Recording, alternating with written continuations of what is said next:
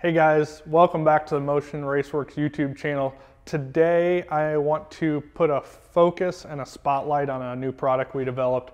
It is a uh, manual master cylinder brake kit for a uh, round body as they would be known, 94 to 04 S10 Blazer, Sonoma, Jimmy, uh, whatever you want to call them.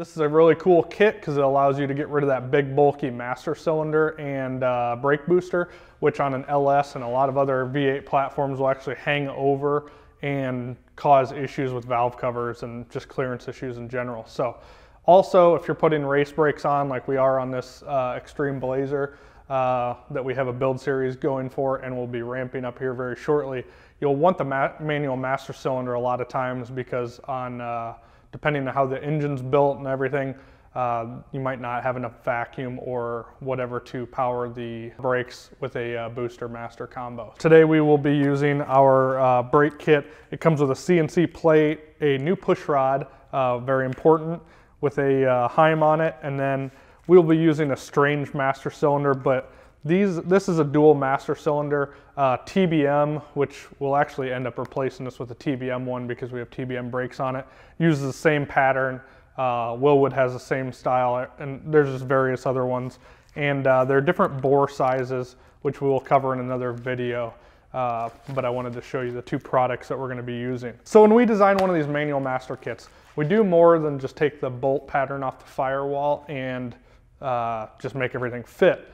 And sometimes, like in this case, we actually have to cut out a little bit extra hole. Uh, we could have easily dropped things down so it just bolts right in place and uh, there's no modification required.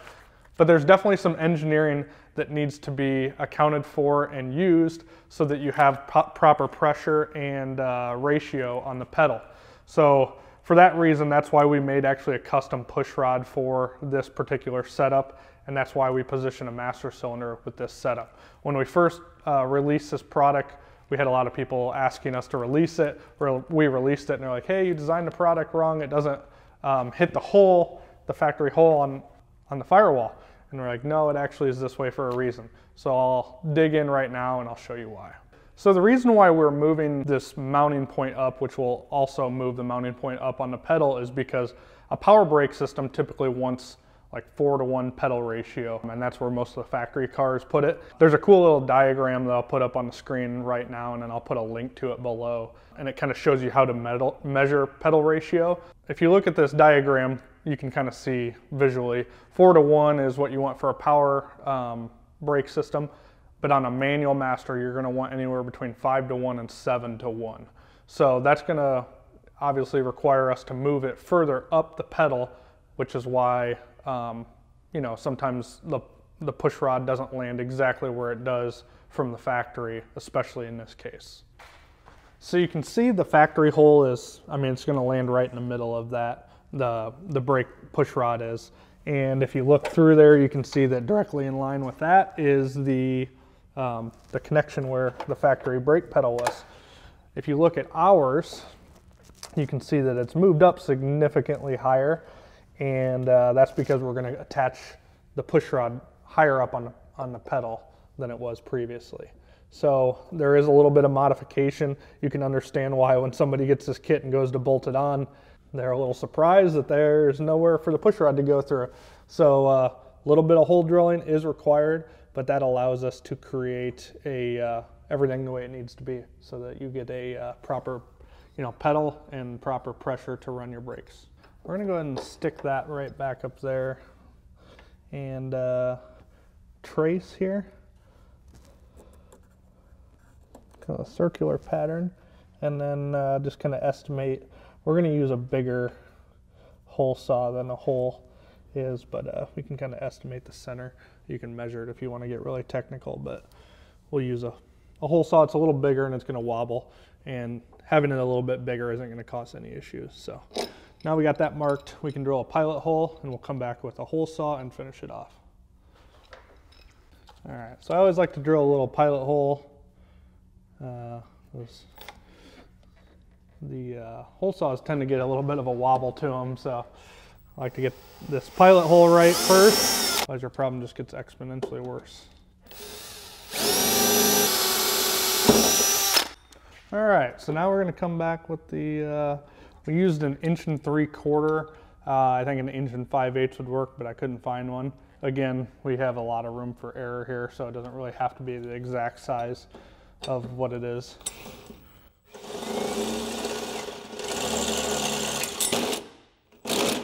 And since we're only cutting about half of a hole, um, I'm gonna kind of take it slow here, just so we can uh, just get a good clean cut.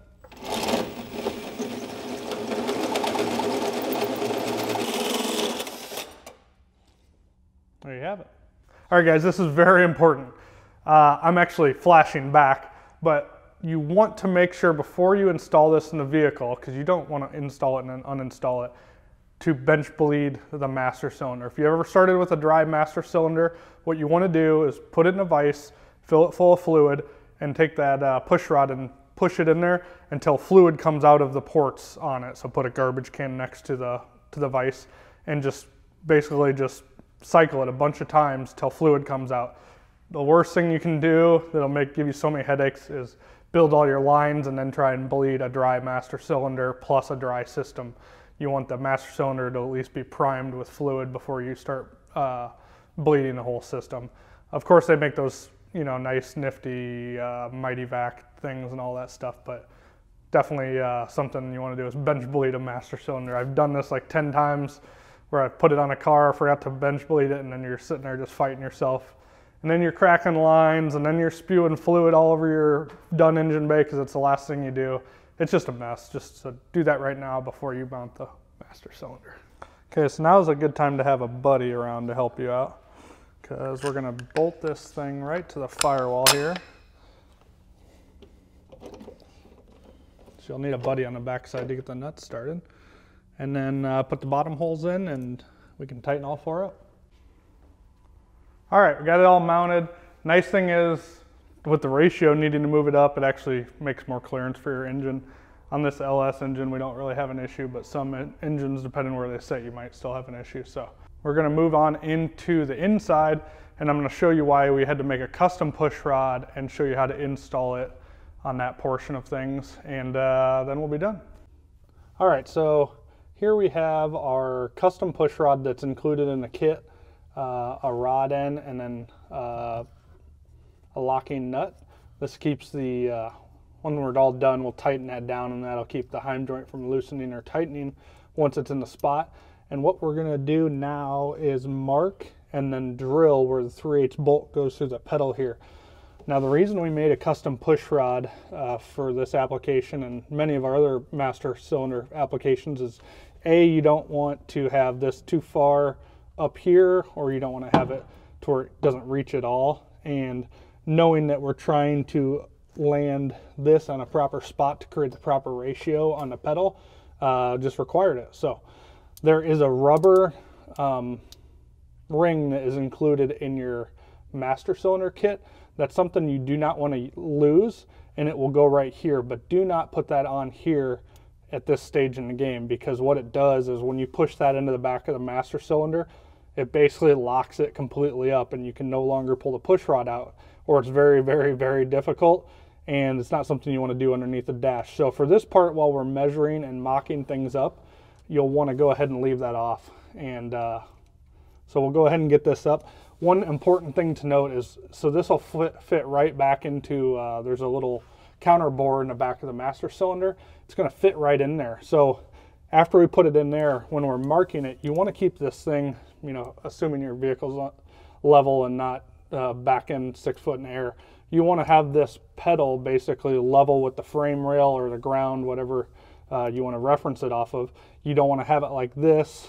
Um, some guys will do that just to cheat it and get it in a hole that's already in the master cylinder. Um, you're going to create a binding situation here and also ruin the ratio and you don't want to have it like that. You want to have it level and that's going to allow for the proper uh, pedal ratio so that you're not disturbing that and you're not creating any binding situations. So as far as the pedal height goes, you can also fine tune adjust that once you get everything set um, within reason. Um, you can turn this in a little further or turn it out a little further and that'll allow, you know, depending on the height and everything. But it's not going to make huge, huge changes to it, uh, but it will allow a little bit of change to the pedal height. So we're going to go ahead and slide this in here. A lot of this is blind, as most stuff underneath the dash is. And uh, we're going to kind of just verify that it's that everything is uh, parallel. And then after that, what we're going to do is you can either poke a dot right in the center or you can kind of trace the outside and then get the, the center off of that later. So looks like we're right there. So we're going to try and trace as much of that heim joint as we can. And that'll kind of give us the outside and then we'll mark the center because there's something blocking it from there. So that was the reason why you wanted to leave that out. In some vehicles, you can actually drill the pedal while it's in the car, and S10 doesn't look like it's going to be that way. So we're going to go ahead and pull the pedal out and drill it on the stand, which even if you can't get it out, these things are made of super hard steel, so you're going to be glad you pulled it out in almost every instance. Okay, so we got the bolt out. Luckily, it's not a bolt and a nut. If you look around the back side of here, there's a hole, and that's a 19 millimeter bolt. And uh, as soon as you loosen it, it just comes out. So if you guys are wondering, you just need to get to that side. So I think you can do it with the dash in the car. It's obviously a lot more difficult. Otherwise, S10 dashes come out so easily. It's it's unbelievable. So now that we got this out, we can uh, mark and drill this thing on a drill press. It'll take a few minutes rather than fighting it underneath forever. And uh, we'll put it back in. We just traced the outline of it because we couldn't get a Sharpie down the middle. You want to make sure you don't push this up to where um, that ledge is hanging up there. So since we have some adjustment, we'll just kind of back it off a little bit, get it centered in there, mark it with a Sharpie. Wow, I'm really struggling. Back it up, mark it with a Sharpie right in the middle, and then uh, we'll go ahead and drill a uh, 3 8 bolt hole or slightly larger right there. You can obviously do this part with a hand drill, but since we got a drill press, we're just gonna go ahead and use a drill press.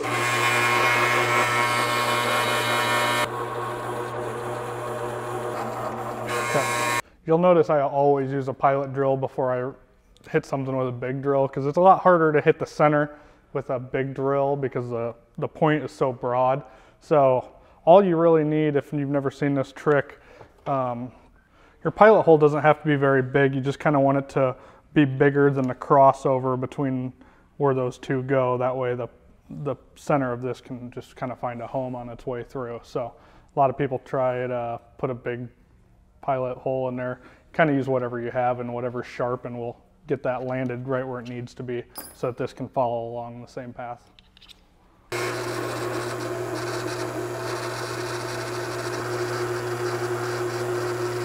So now we got a 3 8 hole. That's going to go right through it. We're going to put a uh, lock nut on the back. And uh, it's actually easier to go ahead and tighten all this up now.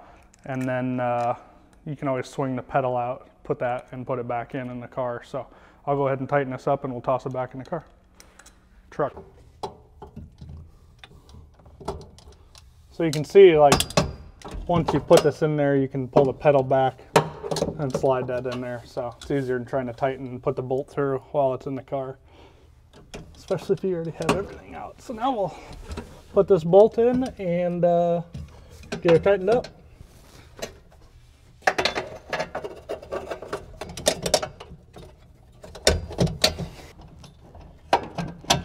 There we go.